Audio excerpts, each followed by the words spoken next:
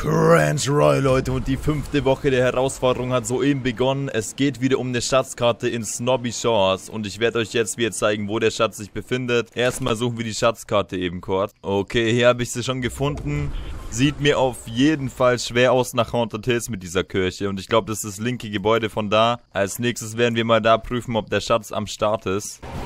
Okay, in Haunted Hills angekommen und jetzt ist nur noch die Frage, in welchem Stockwerk sich dieser Schatz befinden wird. Wird der dem Gebäude sein, im Innenraum oder im Keller? Und da gucken wir jetzt einfach mal. Okay, also hier ist er schon mal nicht. Ach, guck mal Leute, hier oben müsst ihr einfach nur landen.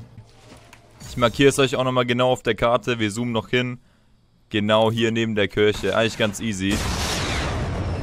Wow, guck mal, der betreibt hier gleich richtig mit der Rakete.